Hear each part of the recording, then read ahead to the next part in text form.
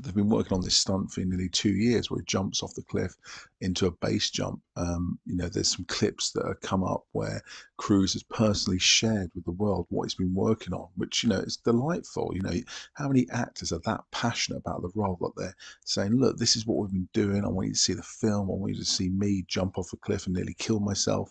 You know, there's many interviews where Cruise has admitted that Mission Impossible is almost like an excuse for him just to have fun essentially and do every single stunt known to humanity you know and up until this point we've pretty much seen it all. So base jumping off a cliff from a motorcycle is definitely a new one for Cruise and you know we're going to look forward to seeing that